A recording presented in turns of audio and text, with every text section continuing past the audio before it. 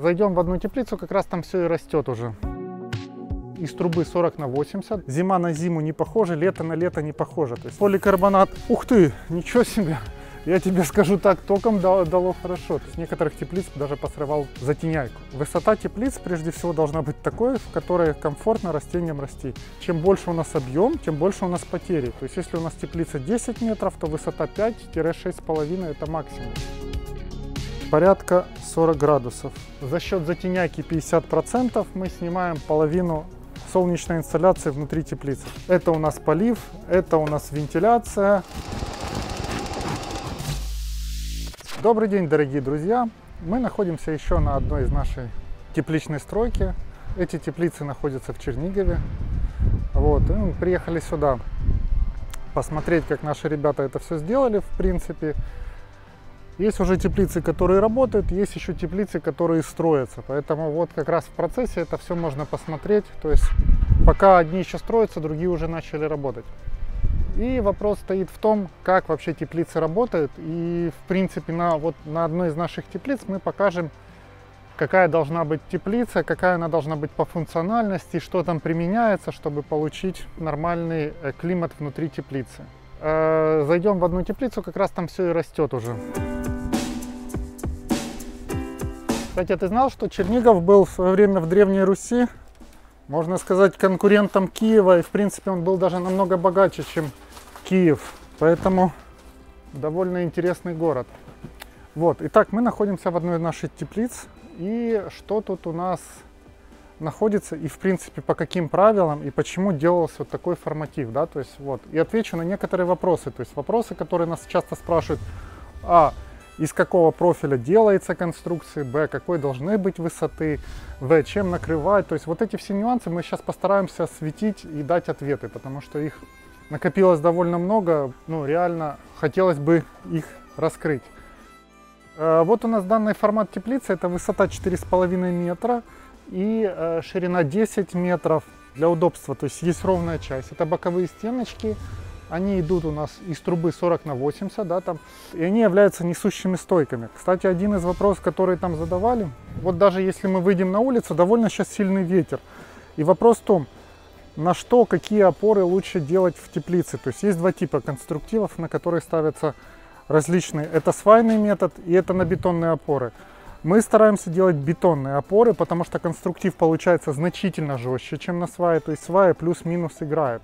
Кстати, хотелось бы услышать и ваше мнение. Какие лучше варианты установки на геосвай, когда вот теплица приехала, и она ставится на геосвай или геошурупы, или на бетонные опоры. То есть вот интересно услышать ваше мнение, потому что мнений очень много, и, как говорится, как каждая лягушка хвалит свое болото.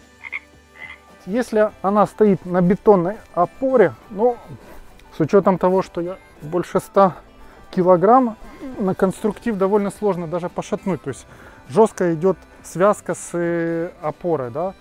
Такая конструкция довольно устойчивая к ветровым и прочим нагрузкам. То есть несущая стойка, это, она идет высотой полтора метра. За счет этого здесь, в принципе, можно выращивать самые различные растения, и они имеют довольно хорошую высоту для объема. Вот эта стенка, которая здесь, в стандартной конфигурации она идет полтора, но и можно делать и два, и два с половиной. Вот есть видео, э, есть конструкцию, которую мы сейчас тоже строим параллельно, она идет два с половиной. Вот, за счет этого можно играться с высотой. И если у нас объемные высокие растения, то имеет значение высота. К высоте мы еще вернемся. Вот, то есть стойка. И у нас пошла ферма. Почему мы делаем фермы? То есть фермы если брать конструкционно, они довольно хорошо выдерживают различные как статические, так и динамические нагрузки. То есть труба 40 на 40, она в виде фермы, и еще дополнительно добавляется такелажная группа, которая является и раскосом. То есть конструктив, задача, которая стояла, конструктив должен выдерживать все снеговые и ветровые нагрузки. Причем здесь идет усиленный вариант, это шаг 2 метра, то есть есть стандартный 2,5, этот усиленный, поэтому его задача, с учетом того, что мы постоянно, так сказать, живем нестабильной климатической обстановке. То есть зима на зиму не похожа, лето на лето не похоже. То есть ветра, все прочее. То есть вчера был довольно сильный, ребята говорили, ураган, что с некоторых теплиц даже посрывал затеняйку. Вот. Поэтому конструкция должна быть довольно жесткая. квадратная или круглая. То есть тут тоже как бы много нюансов и много вопросов, э, где кому какая нравится. Мы начали с круглой, перешли на квадратную, увидели там свои преимущества, да, то есть начали с ней играться. В принципе, что круглая, что квадратная, э, это как э, двигатели для машин. То есть есть бензин, есть дизель. И те машины, и те машины ездят. То есть у дизеля есть свои преимущества, у бензина свои преимущества. Также само круглая, квадратная. То есть э, почему ушли в квадрат? У него лучше несущая способность, да, то есть ферма хорошо держит нагрузки. В ней очень удобно устанавливать различные системы оборудования. То есть, кстати, интересно услышать ваше мнение по поводу того, какая труба лучше, круглая или квадратная. Бросаем трассы, бросаем трубы. То есть все это очень удобно крепить в квадратной трубе, потому что есть пазы, есть пространство, и вот если теплица должна быть функциональна, если теплица задача, чтобы в ней было оборудование для зимы, для весны, для лета, то тогда вот здесь видно, здесь и натянуты тросики, да, получается, то есть тросики для растений, чтобы подтягивать, то есть это все позволяет сделать такелажные группы. Здесь есть системы туманообразования, они установлены, опять же, в фермах в такелажной группе, то есть Здесь будет ставиться там отопление, освещение, то есть опять же удобно ставить, крепить все это к квадратной трубе. То есть какая должна быть высота теплиц? То есть высота теплиц прежде всего должна быть такой, в которой комфортно растениям расти. В высоких теплицах более оптимальный создается климат и теплица более инертная за счет того, что большой объем. Теплица делается, к примеру, высокой и в ней горячий воздух вверху, более теплый средний и прохладный, если это лето, внизу. Если же это зимой, то, соответственно, у нас мы греем внизу тепло, то есть оно прогревает рабочую зону, пока она идет дальше, она и остывает. Поэтому в таких теплицах, а, растения лучше растут, б, в таких теплицах лучше климат, то есть они лучше выдерживают переп температурные перепады, да, то есть день-ночь. А минусы, которые возникают, это, естественно, система отопления, которая надо, ну и стартовая стоимость. Как бы. Система отопления, чем больше у нас объем, тем больше у нас потери. И э, в таком случае как бы возникает пропорция, то есть теплица должна быть не выше, ну где-то 0,5-0,65 своей ширины. То есть если у нас теплица 10 метров, то высота 5-6,5 это максимум. Поэтому основная задача как бы теплицы создать а, комфортные условия для растений. То есть. И а, что значит комфортно? Вот в принципе здесь а, это в летний, в летний период это должно быть хорошее проветривание, чтобы в теплице было прохладнее, чем на улице. А мы сейчас как раз это все протестируем. А в зимний период это, соответственно, в теплице должно быть теплее, чем на улице. И там достаточно было бы света, чтобы хорошо росли растения. То есть это светопрозрачность купола, то есть вот это все должно быть. С вентиляцией напрямую связан каркас, потому что чтобы сделать вентиляцию, то есть в ней должен быть хорошее проветривание. Сейчас у нас лето, у нас какое сегодня число? 22 июля. Довольно солнечно, но очень ветрено, поэтому на улице мы сейчас вот зайдем, померяем температуру и зайдем в теплицы, что у нас происходит. Здесь одна боковинка открыта. Почему одна? Потому что сто идет очень сильный ветер, поэтому ту часть мы закрыли, эта часть открыта. За счет этого хорошее проветривание, оно идет движение воздуха. Есть фрамуги. В принципе, э, томатная теплица, она вообще любит, когда есть верхнее проветривание. Тогда теплица абсолютно не перегревается за счет затенения. То есть, когда поставили затенение, температура тут резко упала. Я вот замерю, где у нас затеняйки нету. То есть, вот у нас здесь сколько градусов сейчас на грунте? Видно, да? Порядка 40 градусов. И вот где у нас начинает затеняйка, мы зашли в тень. Здесь у нас уже 29, 24. Ниже температура грунта. Но в принципе даже растения, если мы смотрим, то есть они не перегреваются. То есть вот 21-23. Хотя на солнце где-то плюс 30, плюс 35 грунт, э, земля нагревается до 40. У нас есть термометр. У нас в теплице сейчас 31 градус, 32. А светонасыщенность это у нас 33-34 тысяч люксов. Вот. Что у нас на улице творится? Пошли посмотрим. Ну, на улице порядка 100 тысяч люксов. Может, уже просто на больших оборотах врет. И температура также 31,8. Что в теплице, что в помещении температура примерно одинаковая.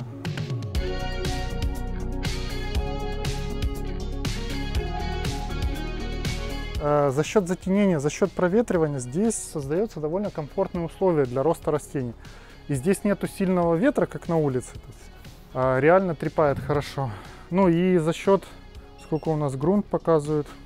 То есть вот у нас грунт 23 градуса, да, то есть 24.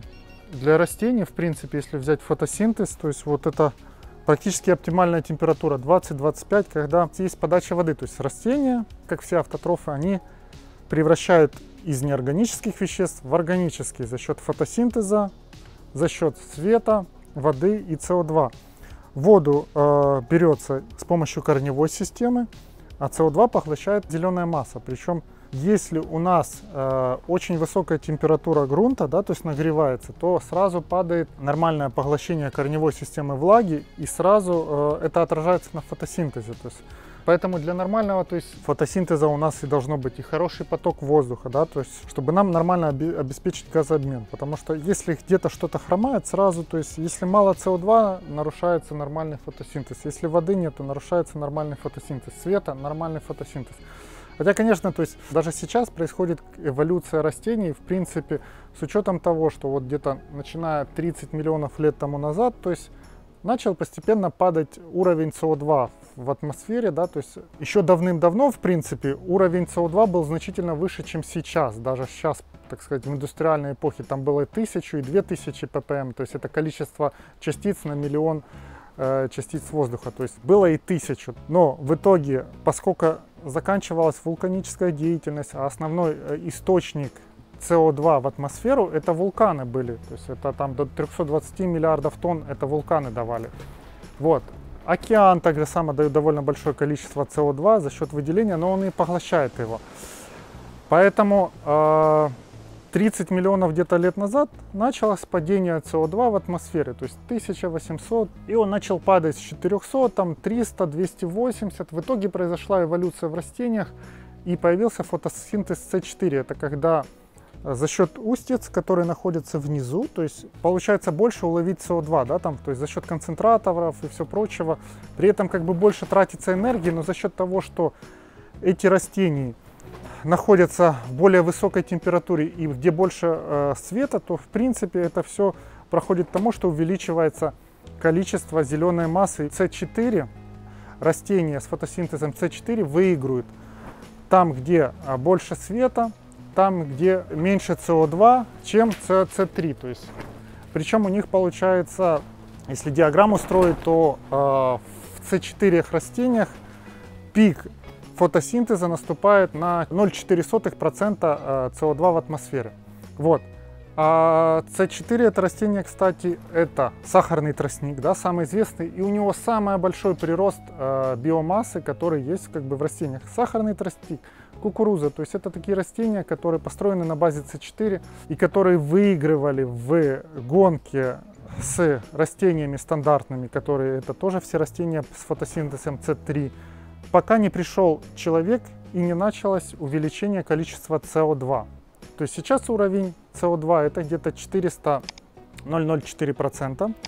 И в принципе в растениях, которые на базе фотосинтеза С3, у них фотосинтез пропорционально увеличивается количество СО2 в воздухе. Они могут спокойно увеличиваться свой э, показатель фотосинтеза до где-то 1000 ppm, то есть 0,1% СО2 в атмосфере. Э, что мы получили в итоге? То есть, когда у нас увеличивается количество СО2 в атмосфере, оно увеличивается по сравнению с прошлыми 100 лет, то есть ежегодно где-то на одну-две частички на 1 миллион. То есть это оно постоянно растет.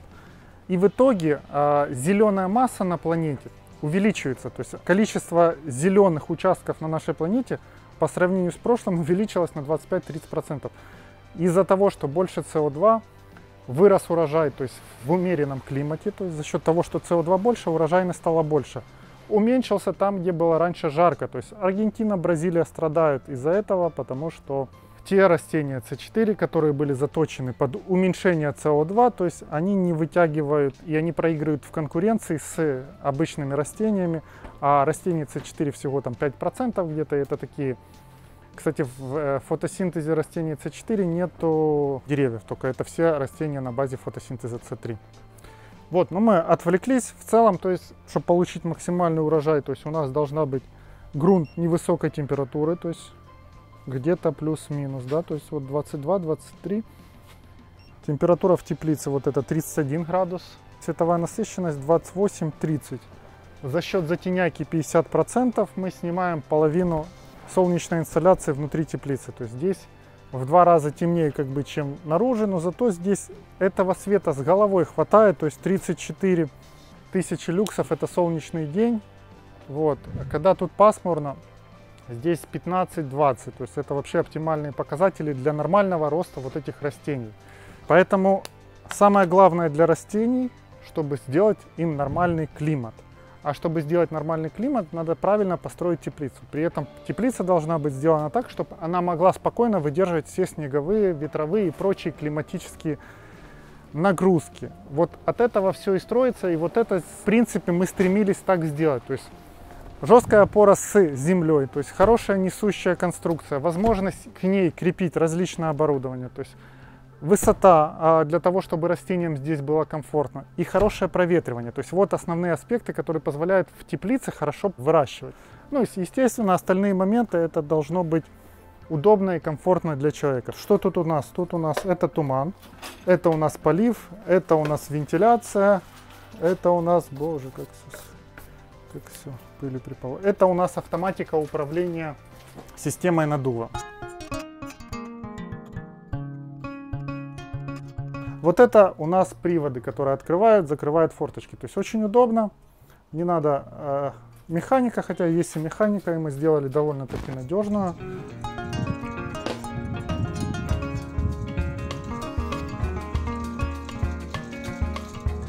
И тот, и тот вариант мне нравится, как механический, да, то есть так и электрический. Ну, в данном варианте здесь электроник, электрический вариант. Очень удобно, Открыли, закрыли. Мало того, можно связать с автоматикой, с терморегуляторами, чтобы автоматически открывались форточки и закрывались. Но вот этот параметр открывания-закрывания все-таки нужно, э, чтобы человек контролировал, потому что есть ветра, есть свои нюансы, и вот это все должно открываться, закрываться. Кстати, вот это вариант, это когда мы заходим в теплицу не сразу, а через тамбур. Мы здесь можем складывать э, инвентарь, мы здесь можем сделать котельную, то есть здесь очень удобно, здесь можно сделать рассадное отделение. Все, все, так сказать, для оптимальной работы и для эффективности. В данном случае здесь поликарбонатный конструктив. И опять мы сделали симбиоз, где у нас поликарбонат совмещается с пленочкой. То есть хорошо, комфортно. Здесь, когда идут дожди, вот такая получилась траншея. Здесь у нас идет боковое проветривание, то, что мы говорили. Есть ручные конкиды, механизмы, которые открывают, закрывают форточки. Вот, очень просто открывать, очень просто закрывать. Вот механизм простой, надежный, который позволяет открывать у нас фрамуги. Вот, то есть сейчас она у нас не надувается, но когда мы закрываем и запечатываем, то ставится клапан и надув у нас надувается. Вот. Ветер довольно сильный, то, что я говорил, что ветра. Вот. Э, есть ограничители, чтобы у нас боковое проветривание не билось. Москитная сеточка э, защищает от того, чтобы сюда попадали вредители – и другие насекомые, которые нам там не нужны. Бетонные опоры, кстати, делались тут дополнительно, доливались. Вот они, то, что мы говорили, а, хорошо запечатано. Есть юбочка так называемая, чтобы вот этого, ну эта часть присыпается. А, пленочка надута довольно хорошо. То есть надута, это значит на ней не должно быть складочек и должен быть такой барабанный бой. Ну вот как закреплена затеняйка просто на каждый ограничитель бросен, брошен тросик и за счет этого мы зафиксировали затеняйку. И в теплице у нас значительно прохладнее. Вот. Такой вот вариант, когда у нас все надуто, Все, кстати, как вы обратили, места острые. Вот здесь, получается, все дополнительно зап- запаковано, чтобы у нас пленка нигде не соприкасалась с острыми частями. Потому что металл, там, где он подрезан, имеется, имеются острые части. Торец. Торец в данном варианте он сделан с поликарбонат. Ух ты, ничего себе. Я тебе скажу так, током дало, дало хорошо. То есть за счет накапливает статический заряд. А, вот. Торцы сделаны из поликарбоната. Они получаются значительно жестче. Вот. И с ними удобно делать форточки, двери, это все с поликарбоната. В принципе, торцы могут быть из пленки. Мы просто всегда вот делаем из поликарбоната движущие элементы. То есть поликарбонат первое дает жесткость, второе он более устойчив к ударам и ко всем механическим повреждениям, чем кленка. А на торцах, особенно там, где двери, то есть это более чаще происходит, люди идут, что-то бьется, трутся и все прочее, из-за этого повреждения идут. Поликарбонат дает жесткость, дает устойчивость, и торцы с этим вариантом очень хорошо работают. Что, идем в тот торец. А вон, кстати, торец, который сделан из пленки. Удобно, когда несколько разных конструктивов собираются. Вот, хорошо надувается, да, то есть вот. И, в принципе, ну, двери, двери, как видим, сделаны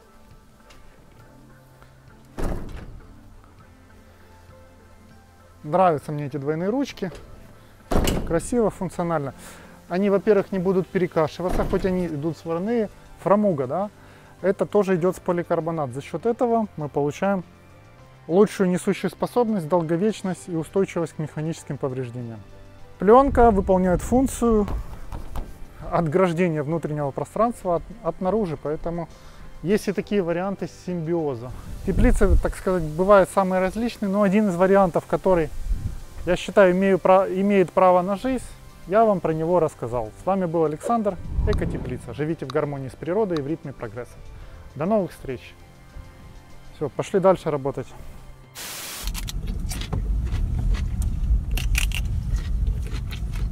Что ты снимаешь? Я не украл, меня угостили с теплицы.